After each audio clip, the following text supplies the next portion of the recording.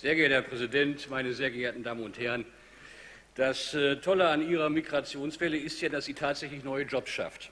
Zwar leider nicht für die Migrierten selber, aber für Rechtsanwälte, Polizisten, die Sozialindustrie und eben auch für uns Politiker. Die Kollegen der SPD kommen jetzt mit einem Antrag um die Ecke, den wir in Teilen schon mal hatten. Erinnern Sie sich noch dessen, dass wir beispielsweise eine Regelung wollten, dass die seit zwei Jahren sprunghaft notwendig gewordenen höheren Kosten für die Sicherung von Volksfesten, Karneval, Weihnachtsmärkten und anderen Großveranstaltungen an Frau Merkel, also an den Bund, weitergereicht werden können. Sie haben das natürlich abgelehnt. Nun soll es also ein Veranstaltungsgesetz sein, und Sie versuchen das durch die Love Parade zu begründen und wohl auch ein bisschen zu kaschieren, woran denn neben schrecklichen Einzelfällen wie eben der Love Parade-Katastrophe es eigentlich liegt, dass wir hier Handlungsbedarf haben.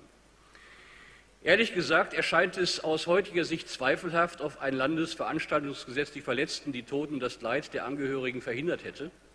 Aber wir wollen uns dieser Diskussion nicht versperren. Trotzdem stellt sich auch mir, wie dem Kollegen Siewecke, die Frage, warum Sie nach der Love Parade-Katastrophe die Gelegenheit nicht genutzt haben, in Ihrer Regierungszeit ein solches Veranstaltungsgesetz zu entwickeln und zu verabschieden, wenn Sie es denn für notwendig gehalten haben.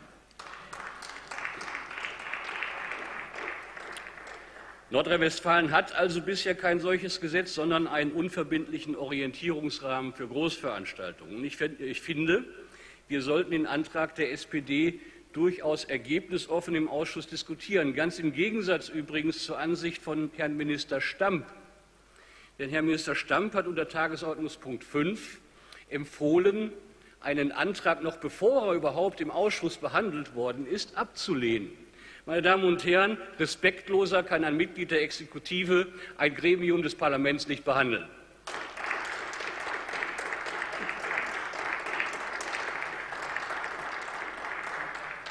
Wir sollten also diesen Antrag der SPD ergebnisoffen im Ausschuss diskutieren. Reicht es also womöglich aus, ja ist es sogar angezeigter, diesen Orientierungsrahmen weiterzuentwickeln und in den Kommunen die Nachbesprechungen von Großveranstaltungen zu intensivieren, wie es zum Beispiel eine Projektarbeit von Studenten der Fachhochschule für öffentliche Verwaltung in Münster herausgefunden haben will?